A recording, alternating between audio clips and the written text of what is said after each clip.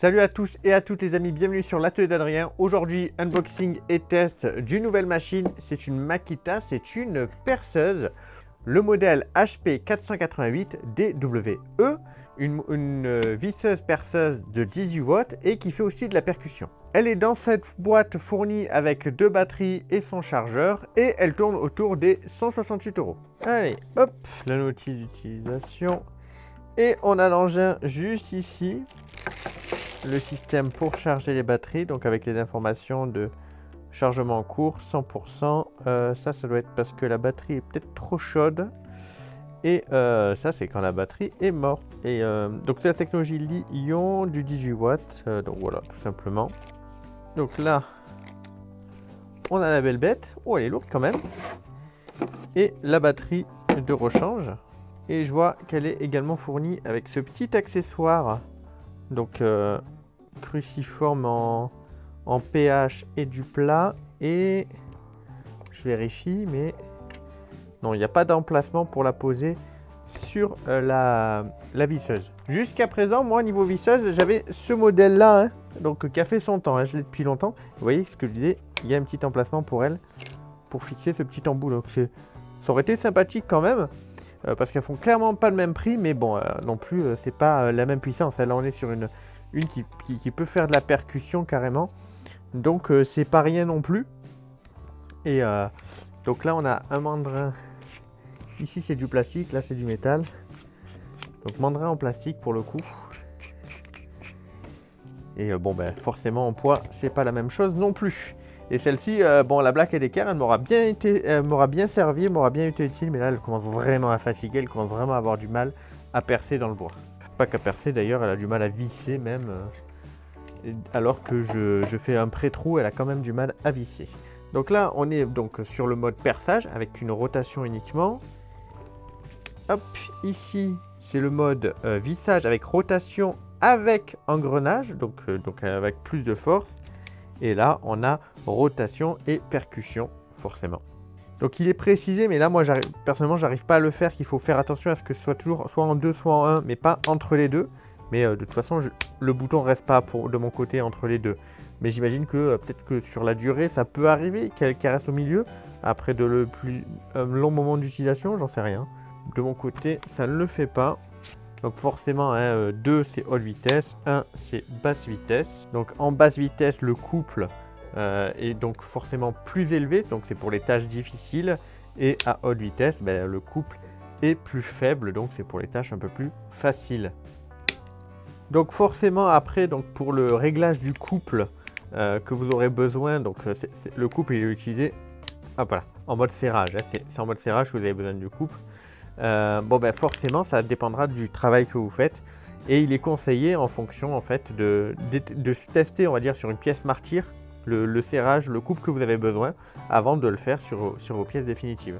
Bon, on a euh, là on a du bois d'être, donc c'est pas le bois le plus dur, hein, mais euh, on va faire quelques tests dessus.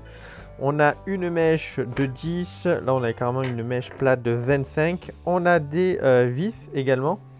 Donc là, euh, c'est du 5 mm de 60 et là du 6 mm qui fait 100. Euh, et on va essayer donc de faire les trous donc, euh, dans le bois, mais aussi dans la longueur, en profondeur comme ça, pour voir ce que ça va donner. On va l'essayer sur du bois, on peut l'essayer aussi sur du métal et sur de la pierre, étant donné qu'il y a de la percussion. Allez, on essaye donc à vitesse 1. donc le serrage de coupe, j'en ai pas besoin puisque je ne perce pas.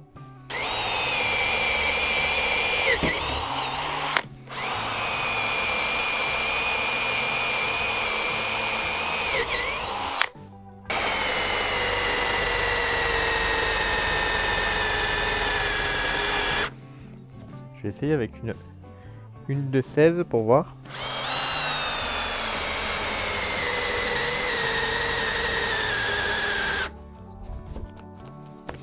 Elle se met en sécurité.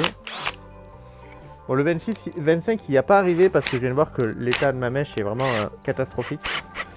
Là, je vais essayer avec du 18. La mèche est neuve, donc ça devrait le faire par contre, euh, je peux pas appuyer, me mettre comme ça ou quoi parce que l'aération est de ce niveau-là.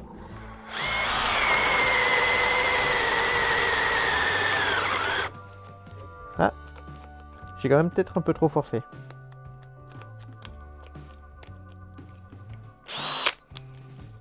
Ah, ça se met en sécurité, hein, c'est pour pas abîmer. Hein. Peut-être la tenir un peu à deux mains quand même. Donc bon, direct, là, ça va beaucoup plus simple hein, avec une mèche neuve, quand même. Allez, on va la laisser du coup à 1 en vissage. Donc on va juste tenter comme ça, directement dans le bois. Forcément à 1. Hop, on passe à 10 carrément. Malgré tout, sa force. Hein. Allez, 16.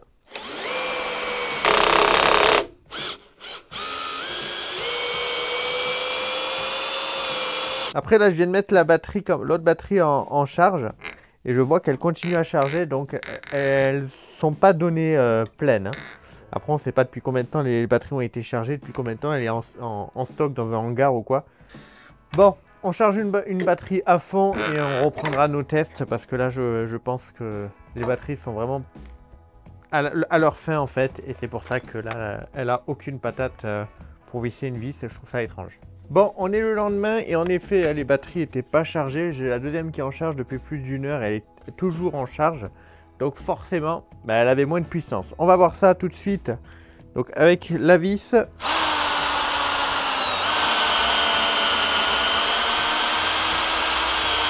Bon, voilà. Là, clairement, vous voyez la différence quand même tout à l'heure.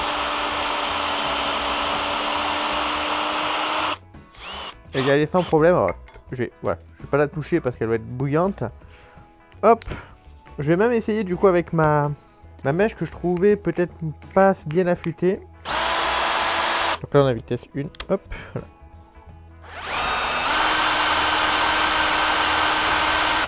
Bah non. Il est vraiment... Elle est vraiment plus affûtée. Faut dire qu'au niveau mèche, j'ai pas euh, des mèches de qualité. C'est du Parkside, c'est du Action.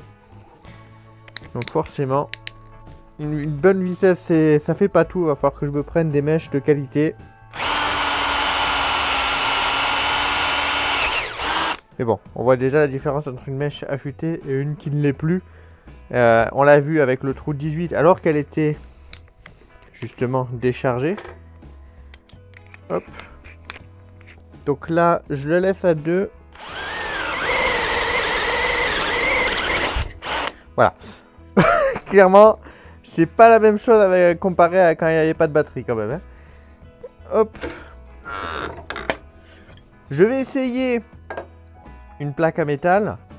Donc là pareil, hein, je vous garantis rien. Donc euh, parce que déjà que je travaille le bois et j'ai pas de des forêts de fou en termes de qualité.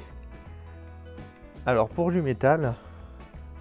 Euh, donc je vous avoue que bah, pour, euh, pour le métal, je sais pas s'il faut que je me mette en 1 ou en 2. Je pense que je vais laisser en 1 au début et on verra. Donc là, avec une mèche de 3 mm. Donc là, faut pas trop appuyer. Hein. faut laisser... Euh,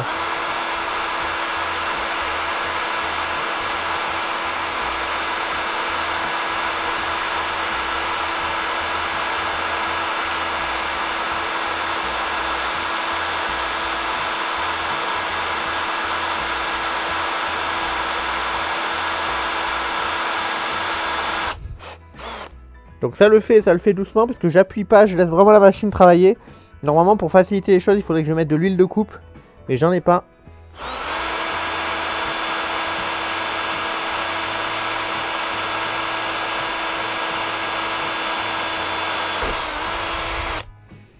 Oui donc voilà. Ça le fait, ça bosse bien quand même. Pour le côté percussion, ben là j'ai pas de truc euh, particulier à percer. Je vous mettrai en commentaire au cours de l'année parce que je pense que je l'utiliserai euh, pour voir ce que ça donne. Après voilà, concrètement moi je l'ai pas pris pour ça. Euh, elle est là pour percer et pour visser principalement et seulement le bois. Pour le métal, j'ai la perceuse à colonne fait quand même plus facilement le taf. donc voilà. En tout cas, très content du, du résultat, très content du rendu. Euh, on a une machine qui est quand même euh, bien ergonomique, même si elle pèse son poids quand même. Euh, après, donc j'imagine que si elle n'était pas percussion, elle serait moins lourde. mais bon, ben voilà, moi même j'avais le, je pouvais prendre une qui était sans percussion, etc. Mais au niveau du prix, des fois c'était même plus cher. Donc voilà, j'ai choisi ce modèle-là et qui est vraiment vraiment pas mal. Euh, à la première utilisation, euh, j'ai senti au niveau du moteur pas d'odeur, de brûlé, etc. Voilà. Euh, qu'est-ce que je pourrais dire? Oui, le petit défaut, allez, on pourrait dire c'est au niveau de la boîte. Parce qu'ils disent qu'il ne faut pas laisser la batterie constamment sur la machine. Sauf que bah, au niveau de la boîte, on a un emplacement pour une batterie et pas l'emplacement pour une deuxième batterie. L'emplacement pour une deuxième batterie, elle est fixée sur la machine. Donc voilà. C'est un peu contradictoire entre ce qu'ils nous disent euh, et ce qu'ils nous donnent la possibilité de faire avec le rangement. Sinon, écoutez, voilà, une fois que euh, là il y a de la batterie, euh, ça y va tout seul. Je ne vais pas vous montrer tous les tests que j'ai fait en vidéo parce que bon, sinon la vidéo durerait trop longtemps. Mais concrètement, elle, fait le taf. on voit que le moteur est protégé aussi avec du caoutchouc, donc c'est pas mal en cas de chute donc je vous avoue que je ne vais pas m'amuser volontairement à la faire chuter. Hein, euh, j'en suis pas là en termes de, euh, revenus non plus pour, euh, pouvoir me, passer d'une visseuse. Mais en tout cas voilà, elle, est vraiment bien. Vous l'avez en description si jamais ça vous intéresse. J'espère que la vidéo vous aura plu. Je vous dis à très vite pour du nouveau contenu. Bye bye tout le monde.